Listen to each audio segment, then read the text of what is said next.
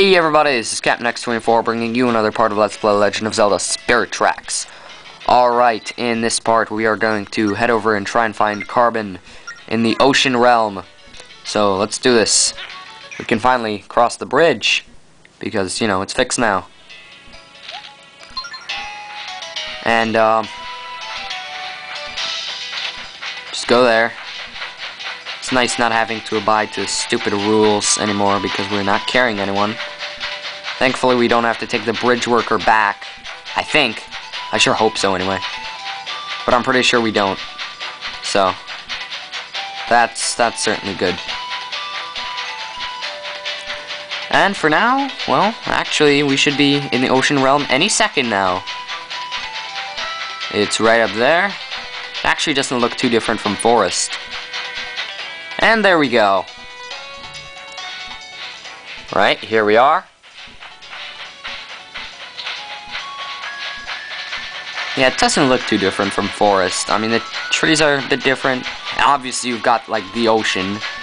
But, um, you know, grass is still green. Same kind of texture. Up here, we got somewhere we're gonna need to stop.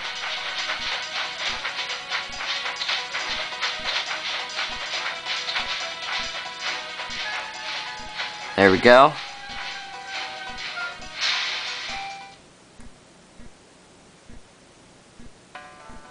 This is called Papuchia Village. Kinda seems like a gloomy place. The vultures really add to that. I think they're vultures. That's kind of what they look like. They're some sort of birds. And uh, it almost sort of reminds me of Kakariko. Because Kakariko, with the music, it seemed kind of like a gloomy place a little bit. I don't know. You can talk to the people. Um, apparently they've got someone called the Wise One. If you go over here, it's a lady selling fish. And, um, a shop, regular shop. Nothing special here, I think. Yeah, nothing special. Let's just leave there. I realized shortly after this that uh, you actually don't really need to do anything in the village quite yet. So, um, if you need anything, pick it up at the shop. But other than that, we're gonna, you know, uh, get going because we got somewhere else to go, and then we can return to the Papuchia village. Well, anyway, let's get going.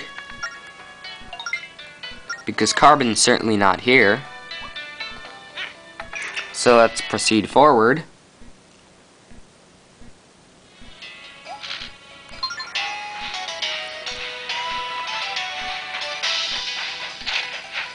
And let's just go there. It's a straight line. I think you've... Right. This is where the fun begins. Is it? It might be. Or that might not even be for a little bit. That actually might be on the way back. I don't even know.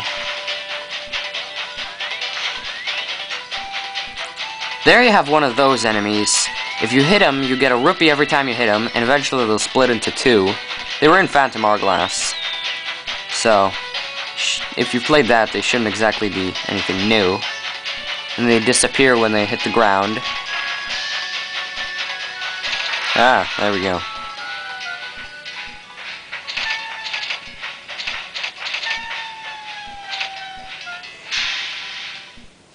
Stop here. This is the Ocean Sanctuary. Alright, let's go. Um, I think we're supposed to go this way. Pretty sure we are.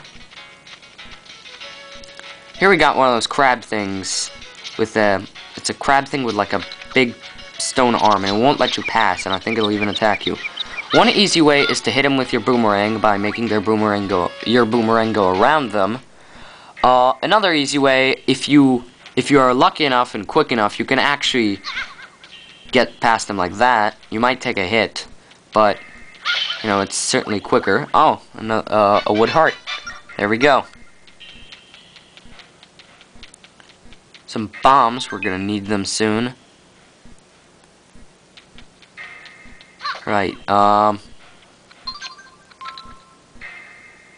Hmm. Yeah, in that case, we're probably going to need to put a bomb down here.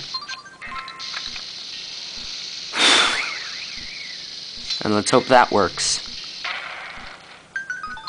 Personally, I like that puzzle quite a bit. Because um, it kind of brings back like an old idea that they had in the first dungeon. And I like it when they kind of, you know, make you actually use your older items. And not just, okay, the dungeon's over, we're done. Um, this game sometimes does that, but uh, usually Zelda games are pretty good about that. They actually make you use your older items. So let's see, here we are, and um, there's six statues. Forgot what it's gonna ask. Follow the gazes of the statues. Trace their paths to open the door. Right. Um. So then, what we're gonna want to do go to the statue and draw the way it's facing on the map. So I'll cut away to when I have that done. Alright, so when you're done, you should have something that looks kind of like this. Uh, this part, where there's the Octoroks, you gotta throw your boomerang at that switch. Other than that, you really shouldn't have any problems. And on the other side, you're gonna need to use a cuckoo to fly from, uh, from about here to over here. So, uh, but that's really, shouldn't be that difficult to figure out. So you're supposed to draw it, um, it's just the way you draw it is, got it, um, right, right, I think you're supposed to draw the way their gazes go all the way. What the heck?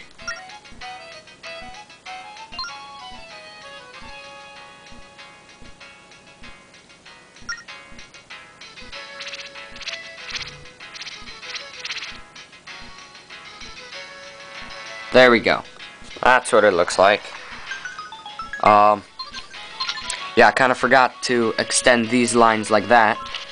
Whatever. Um, we won't even need that anymore. So here we are. And Carben's not here.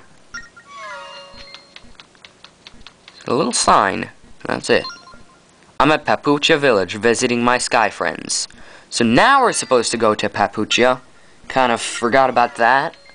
Um, thought we were supposed to stop there first. So we didn't even have to stop there technically. At least I don't think we did. So, um, I guess in the next part we're going to be getting back over to Papuchia. And uh, I guess if you like this video, then please rate, comment, subscribe, and I'll see you guys next time.